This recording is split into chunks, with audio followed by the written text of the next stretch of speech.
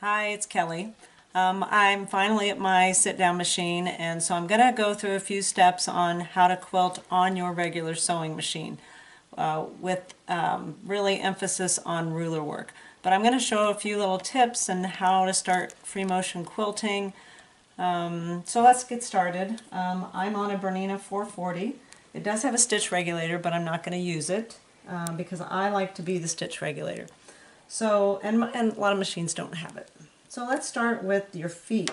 Because I sat down to my regular sewing foot and it needs to change. So I'm going to first take my foot off and I'm going to replace it with a quilting foot.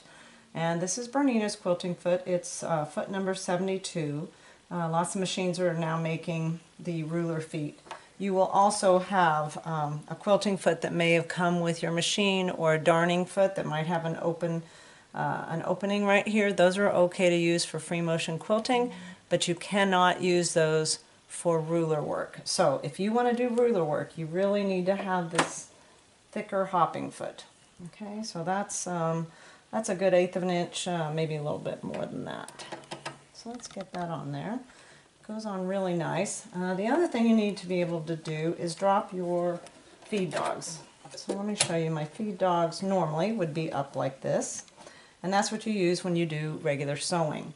Most machines, unless they're really old, maybe featherweights, uh, will not be able to drop feed dogs. So there's a button someplace on your machine and when I drop that, or when I hit that button, my feed dogs will drop.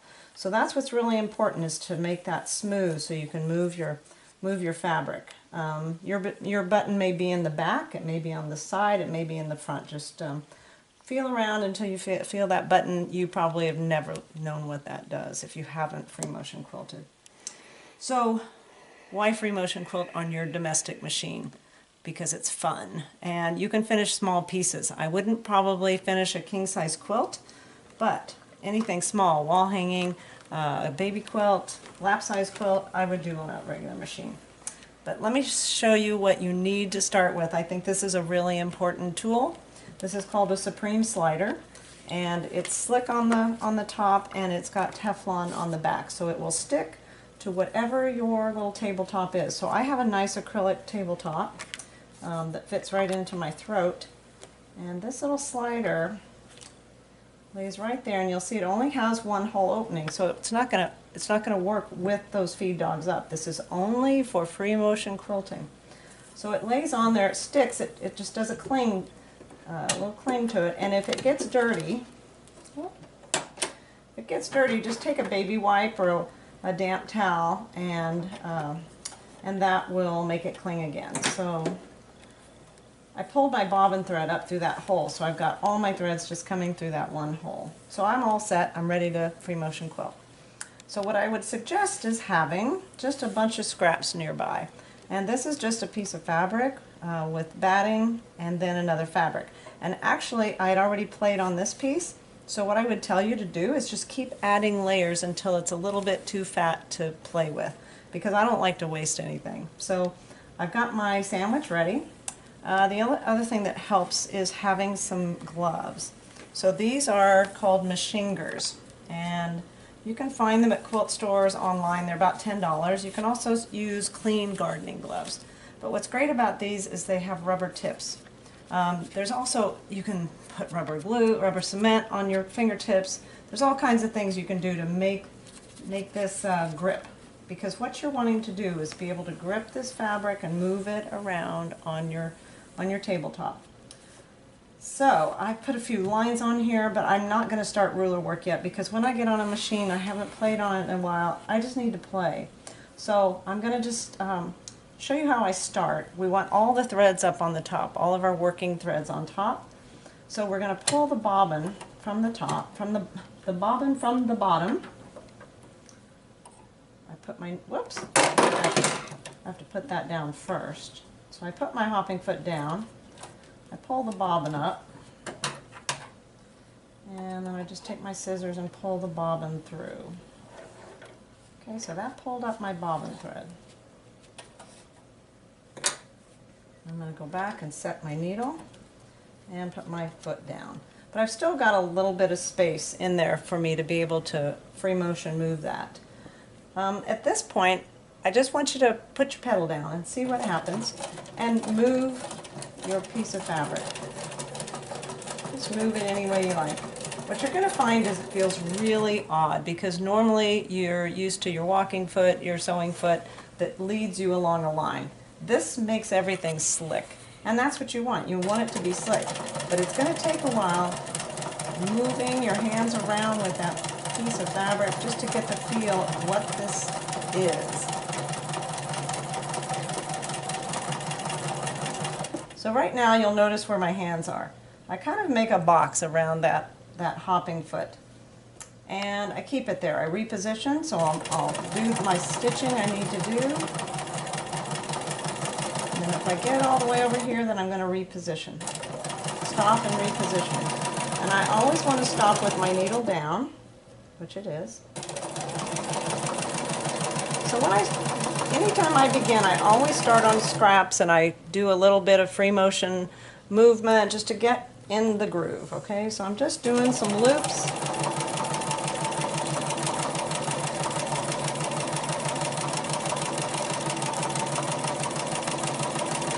The key to free motion quilting is getting a consistent stitch.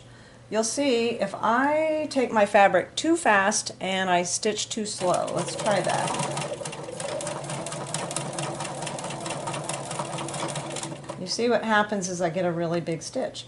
If I push my pedal too fast and I move my hopping foot too slow,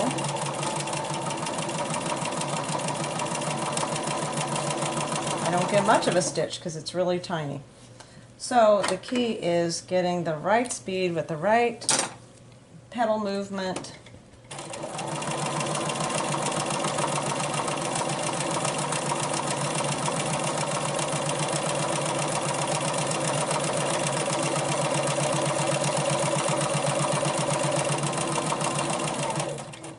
And that takes a little time and practice, but just take lots of sandwiches. Don't work on anything that's important first and have fun with it.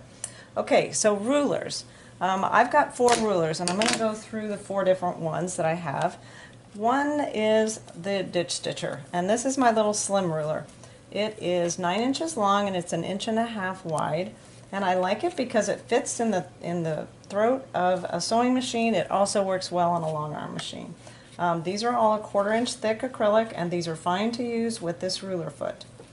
The great thing about a ruler with free motion quilting is at this point, if I was free motion quilting and I had that quilting foot on and I wanted to do a straight line or ditch stitch, I would have to stop, break my threads, put my walking foot back on. And I don't want to do that. I want to just go from free motion quilting into ditch stitching. So at this point, all I have to do is put this ruler up next to my hopping foot. Um, normally, let's see if I can find it. When I am on a domestic machine, I may put grippers on these uh, rulers because I want them to stick. I don't want any movement. Um, I don't do that on the long arm because I want them to slide. But on these, I'm moving everything at the same time, so I want the grip. You can get those little sandpaper grips, Handi Quilter strips. Um, you can also take a dollop of rubber cement, put it on your ruler, and that makes a good grip after it's dry. Then you can peel it off if you don't want it anymore. Okay, so back to this ruler. The hopping foot is naturally made to be a quarter inch distance from any line, any ditching that you'll do. So if you put that ruler just right up against the hopping foot, you'll see you have a quarter inch line.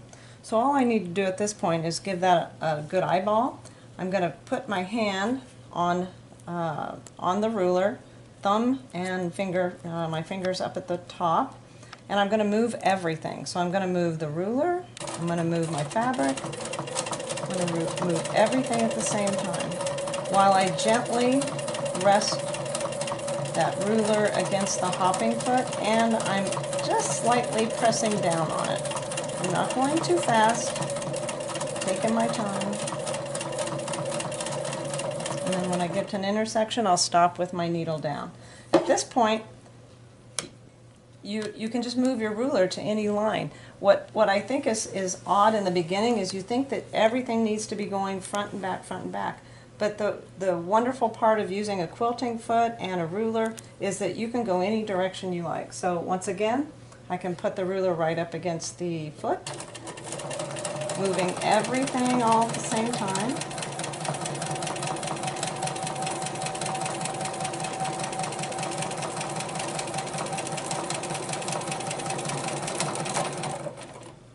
And my thread broke.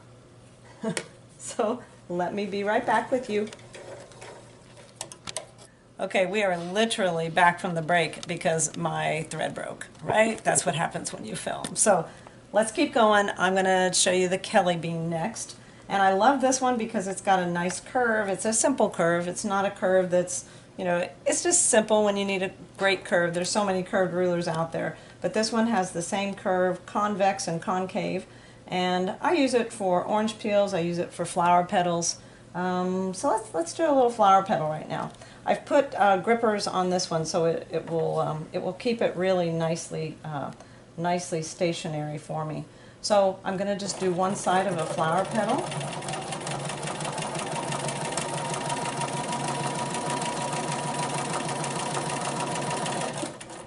And I'm going to stop with that down. I would have put grippers on the back side too. I'm going to just put the curve right a uh, quarter inch away from that intersection.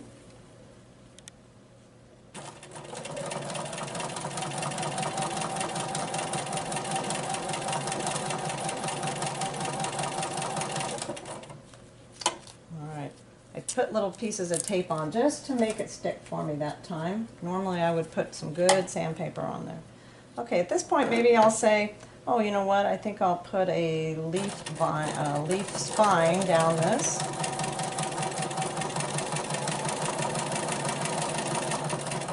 See, so this is nice that I can take my ruler away when I want to, and I can free motion quilt when I want to. At this point I may say, oh, you know what, I think I'll take one of my little rulers, uh, either the palm or the mini, and I like these when I'm doing some tiny little work, and I may put that right next to the hopping foot, and maybe I want to fill. Now this would be a little bit tedious, but in the same color, I might do this fill.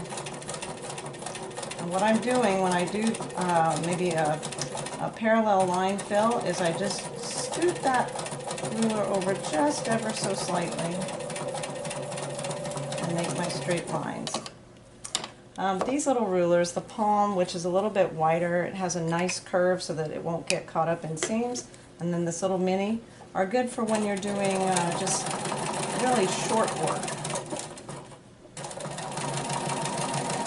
You see, I always have my fabric staying straight in front of me, but I can move that ruler and go any direction I want. Let's say I want to do a scallop. Let's get over, can do scallops across a, a border or a sashing. I'm going to get right over here and take this one. Once again, I would probably have grips on this because it'll stay, stay put a lot easier. But I'm just very lightly following the curve of, of the ruler. I'm not pushing too hard against the foot and I'm not pushing too hard on the base. Let's see, let's go along this line.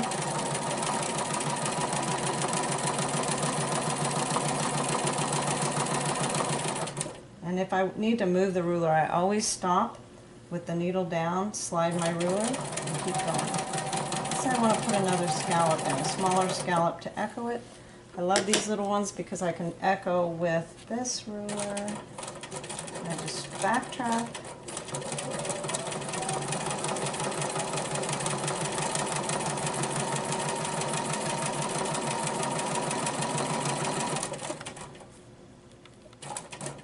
Maybe when I get that little uh, curve down, maybe I come in here and I put something inside.